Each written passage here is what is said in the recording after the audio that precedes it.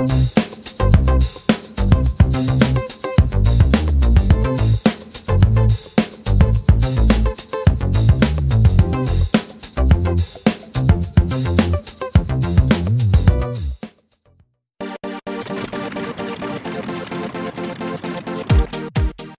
so we're here. Hi, YouTube subscribers to Every Band. I have the honor and I got the opportunity to speak to Doron Merdinger. Did I spell it right? Merdinger. It's nice meeting you, and thank you for inviting us to, uh, to have a conversation with us and uh, tell us about your industry.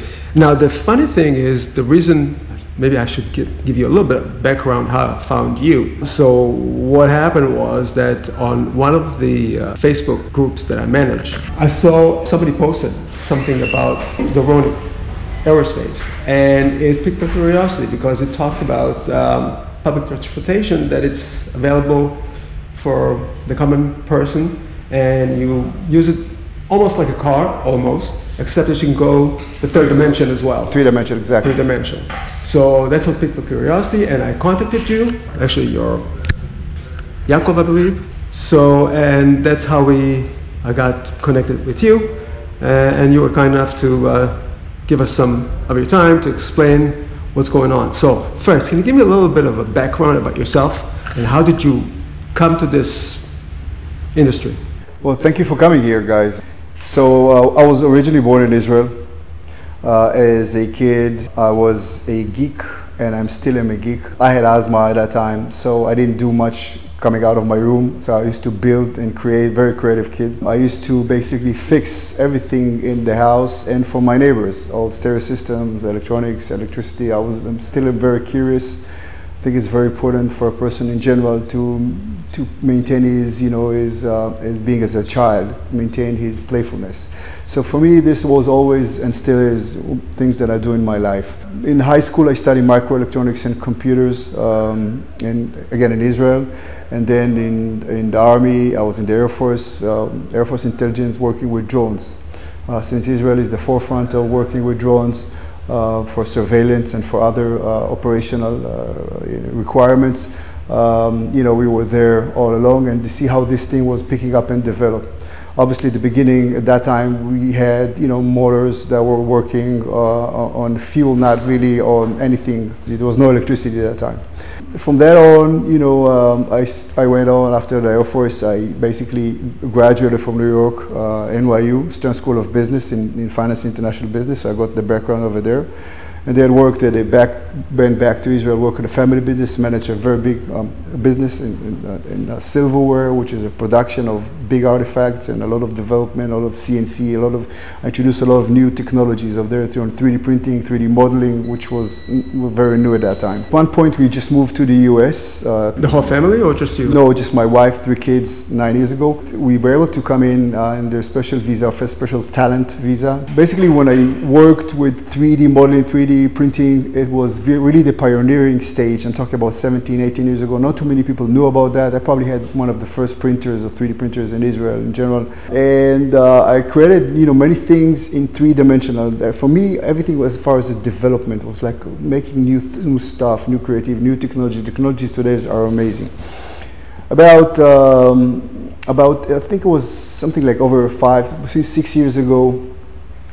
Um, I remember myself uh, driving in a traffic uh, jam, very condensed. Everything was, you know, like, uh, you know, getting uh, a lot of uh, tension because, you know, the traffic's not moving, somebody's stuck, whatever. And then you see this kid on the side, you know, playing with a drone, right, when we were stuck in the traffic. It's like, why can't we use that as, as a motor of, of transportation for ourselves? And what's the, you know, what's the challenge of scaling it up, right? It, it sounds easy, it's not so easy. But at that point, I started researching around the globe to find those talents because really you need to find talents to help you move forward. You can't uh, just take a small drone and you know make it bigger because there's a lot of other things involved. You have to have you know, special motors, you have to have special batteries, special technology, special computer system, and of course you have a person inside. It's a whole new ball game. I started looking around. You know, people told me, listen, the batteries is not there, the motors are not there, and really, who you know, many people told me, who is gonna you know crazy? Who's gonna drive a car or a three-dimensional car? And you know, I was I was ridiculed, laughed at at that point. But you know, a lot of things in my life, I saw things are coming before the time. And at one point, I got a phone call from my mother-in-law, and she goes like, "Doron, you know, I'm very angry at you." And I was like, "What did I do wrong?" And she says, "Remember, you know, 10 years ago, and it was like probably 15 years ago, you said you're going to be have a watch that you're able to communicate with a person, see, you know." And I, you know, a, and I said, "Yes." And she says, "So why didn't you do it?" Because you know, I was I was always creating. It's you know, that's my that's what I like to do. What's wrong with you? Yeah, what's wrong with you? You know, I was like, I thought I did something, you know, to my to my wife or something to my kid. You know, what was wrong? And um, and it was interesting because that also gave me a lot of push to take, you know, to leap forward. I started researching around, researching the web. I found very um, talented people in the U.S. and outside the U.S. You know, being the background that I come you know, um, parents came from the Holocaust, you know, I, you know, and they communicate always with different languages and different cultures. It was easy for me, not, you know, I'm using English, but it was easy for me to relate and to communicate with people, you know, from the Ukraine, from the UK, you know, I reach out to Australia, Japan, everywhere, you know, US obviously. And we had those, you know, the, we created this team. I like to look at them as geek like me, as anarchist in a way. They look at things differently. You, it's not necessarily the ones who finish MIT, you know, with the highest honors or Caltech. No. These are guys who really worked physically and are very curious and very motivated and they have the ability to create. But since this is a new, it's a new breed, it's a new animal, you know, it's some, something different, we, you know, we had to think about different. So we had to think about the motors, we had to think about the, you know, aerodynamics, we had to think about the batteries. So I took from what I found was the best team, you know, I was able to, to create. It was everything online at the beginning. And uh, we started building different prototypes. Um, we checked, you know, the systems and everything was new. And again, you know, people were laughing at us, you know, who's going to do that? Who's going to use that? But as a kid who watched you know, um, I was, you know, I, I, watched Star Trek, I watched uh, uh, uh, Fifth Element, all those movies, you know, uh, Blade Runner. We knew they were coming. You know, all these books of Jules Verne, you know, 30,000 miles, you know, below, and the, the flight to the moon. Everything happened. So all those things, we knew they're going to be happening. I mean, it's, it's uh, just a matter of time. And, and then, you know, look at what's going on around you in the cities, and I mean, there's no other way, basically, to, to, to transport, to commute, you know, if looking forward. You can't solve those issues, and this is a whole new ball game by excavating underground because, you know, it's too expensive, it's not really efficient. I mean, how do you go to the last mile? How do you get there, you know, even to, to the train station, right? And the next thing is, so okay, so autonomous vehicles, people saying autonomous. No, man, autonomous cannot, cannot solve that issue because there are so many parameters that needs to be at the same time. First of all, for, you know, just make sure, make it understand there's a human factor and there's a machine factor, driving, commuting in the two dimensional, you know, road. So um, a person, the decision making is probably 75% irrational. It's a, it's a researchers that was done. Then the next thing is, okay, do you have to have like an internet, like it's a 10 to 12G to, to be able to, trans, you know, transfer all this information at, at, um, at the same time. At the so same time, yeah. The second thing is you have to have a huge, enormous computer that, which is not built today that will able to get all these data and process at the right time. Yeah. Let's say they solve this issue as well and only people, uh, only autonomous cars will do. Fine, but it's still two-dimensional. So the next level is you go, you know, three levels, right? You go multi-levels. And, and, the thing is about autonomous or, or, flying cars or you know, you don't really need to have uh, to fly at 10,000 feet or 20,000 feet because you're going to endanger aircraft. There are levels that you need just to have clearance, a couple of hundreds of feet. I'm sure you know it very well. There are categories or classes of airspace. So anything above 1200 AGL or 700, depending on where it is, uh, it's controlled by ATC. So how are you going to approach this this okay, uh, so, challenge? Okay, so first of all, the, the, the H1 or our aircraft is built to get up to, up to 8,000. So we, we are still in a comfortable zone, but then we don't need to get there. Our flying comfortable is a couple of hundreds of feet. Because think about that, eh, you know, an eVTOL doesn't go, it doesn't fly, you know, it doesn't have to take over a runway. There's no runway here. So essentially, the highest it goes vertical, the more uh, energy it will consume, and the higher the, uh, the, you know the altitude, the less congested it. So the more RPM he needs to produce order to the air is less dense. So and we don't need to go there. The, really, there's no point. You know, so we're talking a couple of hundreds of feet and we can even fly 10 feet, 20 feet, 30 feet. You know, it's just, uh, it's a vehicle that doesn't need roads, and the way it flies, it goes, you know, it's like, if you look at the sky, basically, I don't know if you're aware, there's many softwares that are already now in the process of you know, certification with the FAA. I think even NASA has one. What they do is you look it's called corridors. Basically they, it, they will work like a three-dimensional elevators because the drone is very accurate right? It knows exactly itself in the in the three-dimensional world. It has multi-sensors. And lidar to the ground. In our case we're integrating uh, uh optic flow camera as well. Take pictures right? 300 in our case 360 degree of anti-collision sensors. So it knows itself in you know the three-dimensional world, and and then the flight and even the landing is very accurate. As far as certification, there's already some eVTOLs. And one person that I think they're being certified as we call ultralight. And, and there's uh, the other one, which is Part 23, which are the air taxi, which is this is the most complicated form of certification. They take four or five people into the city and into the airports, right? And these are six to 7,000 aircraft. We, we're not going there. You're not a taxi, you're not building it for taxi services, but rather for personal use. Yeah, very, very simple. Because we understand that at the end of the day, we are going wheelless.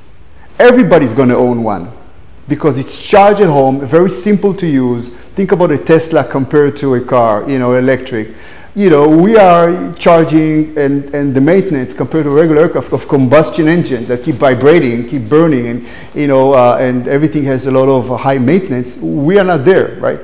So we understand that there's, you know, obviously issues with batteries that can, you know, at this point, will limit compared to other, you know, combustion engine. But, you know, to be honest, I'm not concerned about that much for many reasons. There, there are a lot of things happening in batteries one of the things which is, you know, this is our guiding rule. At the beginning when the iPhone came out, it lasted 30 minutes. Now it lasts days. So the battery technologies always will keep up with the requirements of the market. So this is the first thing. The second thing is we see the initiatives. We see that the US government announced by 2030 at least 50% of the cars going to be electric. And we see how many cars are already going electric. I mean, every major car manufacturer is going electric. Yeah, they've been doing it for years. I remember, but ten, even 15 years ago, actually, Toyota was one of the first ones that came up with the hybrid. Exactly. I remember actually driving it. Toyota came out with new batteries, I think also Hyundai, that's called solid state,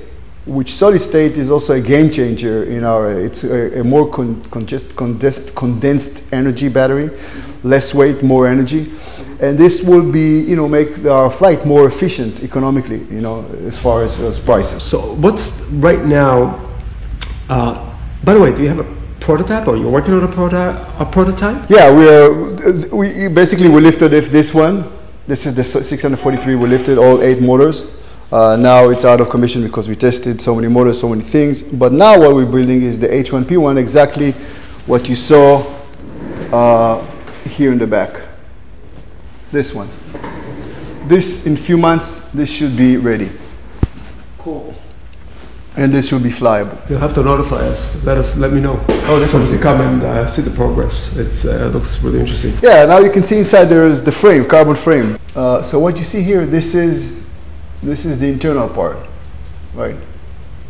So we have the batteries, one, two, three, it's four. Pretty modular. Yeah. The whole idea of this is to simplify everything that you can think of. Just take the, just leave the fun part of, of traveling, you know, wheelless, but basically have everything, uh, everything out clean, simple, and very, very user friendly. This will not be our, uh, our how the H1 actually be built inside because we have other features that we, this is the H1P1. It will look very similar. We are working on two models. This is the model that we're working now to, you know, uh, as a prototype, flying prototype, but the actual go-to-market will, will look a little bit different. Not a lot, the same base of, you know, propulsion system, but will look different. You can see here also some of the features. For example, you know, the idea is like this: you you you know you walk around the Doroni H1 and check that everything is in order. This is probably the maintenance, the most of the maintenance that will you know have to say everything is good. Um, the system will be also sending information to our main headquarters all the time to see that everything is in order. You go inside and you sit, and there will be basically one screen, and you can put your iPads. This will be an iPad, and this will be, it's already the design is already changed. This is, we keep updating things, this is already changed, okay? So once you go like this, there will be a button, you hit, you know, start, you hear audible, uh, the Doroni system check, and then they're already ready for takeoff. At that point, propeller will start turning on idle, and you know, your iPad will be here, and you get information on this screen. If you're a left or right pilot, um, uh, it will change. I guess if you get tired, your passenger can take over. Yeah, exactly. So, th- so, so this is the last touch will will take control. And the the flight, you know, it's I'm saying flight, but it's not really a flight. it's, I mean, you're flying, yes, but it's not like it doesn't resemble a helicopter. It doesn't resemble an aircraft, a regular aircraft. Uh, because you don't have to, you don't have pedals, you don't have, you know, anything besides. So no rudders. No, nothing. Basically, the autopilot will control everything. So you have eight motors here, and the way you go about it is you have the hot here, and you want to go higher. You start, you know, toggling here, and then you start going three feet, four feet, five, six, eight, and everything. Remember, there's no combustion, there's no vibration at the level of a regular uh, uh, uh, helicopter, and it's self-balancing, right? It has a gyro, internal gyro, accelerometer, and and so you have eight motors that will start lifting, and then the joystick is very intuitive. You go this, you fly forward. You go this, you, you fly backwards. This, you, you, you bank. So if you stay still and you go like this, it will start swiveling. But if you go forward like this, it will start flying with, you know, banking a little bit to the left. And if you don't know what to do, you just drop your hands off, it will maintain its location. So, so there's stationary. Stationary in there, exactly the same altitude. It knows exactly. When you say you have autopilot, so what do you do? You put the point on the on the flight plan. You, yeah, the autopilot. Yeah. It can do that. We don't know yet if this is something we will use for certification because the, uh, the FAA uh, um, uh, is still concerned about you know uh, autonomous uh, aircraft. It will be semi-autonomous at the beginning because there's enough complications uh, at this point. So, but there, when I say autopilot, means that that the, the the controller, computer controller, will control your position in the air and you don't need to basically balance it uh, like with a helicopter with pedals and you know the rerotors and everything. So this is very simple. The prototype, how long do you envision it being able to uh, stay in the air? So what we what we have now, the prototype that is in the making now with the batteries, this is just for a couple of minutes for us to show that you know we have the control system, check everything that works. Uh, uh, the actual product go to market, it's between 40 minutes to one hour, between 60 miles and 100 miles. And how long will it take to uh, charge after that? Uh, charge is we fast charger should do somewhere between 20 25 minutes. Uh, depends on you know the, the the status of the battery, how depleted it is. But this is what we expect. I think from 20 percent percent on. This is the fast charger. But I guess it's going to improve. Oh yeah, again, again, it's going to improve. But we understand already the experience of of of flying. So this is something that you know when you sit inside and you have all that feeling and the control. Eh, eh, I mean, you're going to be falling in love with this. I mean, there's really no other thing to compare because of the Ferrari of the sky, because of the design of it but everything is is but that's, that's my that's the car that I love. Yeah. But everything is we, we already know the fabrics, we know the interior design. It's not here. We are working on that, you know, with a, a special seat. Have a small storage space very yeah. for women. For women to store the women. No, just for shopping. Yes, there are. Yeah, but not in. I, th- I don't think in this one, but uh, here in the back because we went to crowdfunding, and this was interesting, it's not like just people invested. We got a lot of people who wanted to pre-order, and there is a lot of questions they asked us. So here you see the bags in the back. So essentially, it's not geared to use on a road per se to drive. There's no need to drive